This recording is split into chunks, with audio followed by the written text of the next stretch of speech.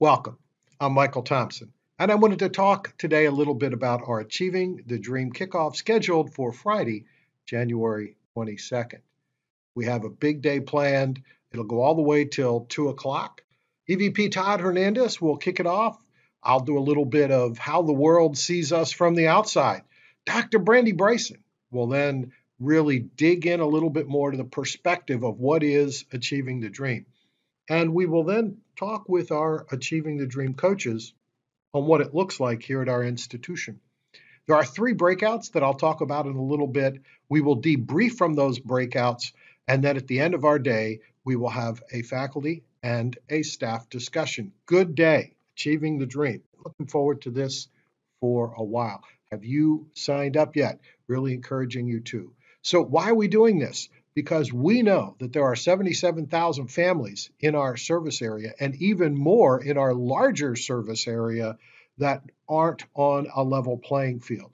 And we're going to find those gaps and close those gaps. What do they look like? And so if you're coming, you will get to dig into your favorite part. Where's your passion? Is it about the holistic learner support that we've been moving to in a learner centered design, a fabulous 90 minute COPE virtual poverty experience awaits you. Maybe you're more connected to our academic pathways. And NAEP will also help us look at our learner success and what drives it, our equity agenda here at the institution, and a focus on high impact practices.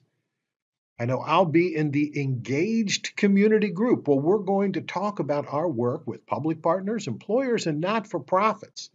And we're going to learn the keys to our success. And we know our gap. Our gap is how to do more of that work, how to scale that work up. So I do encourage you to register. Here's the link.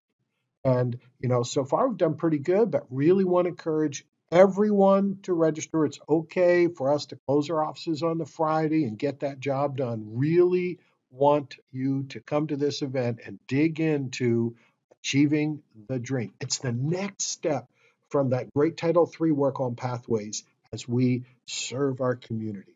So thank you and sign up.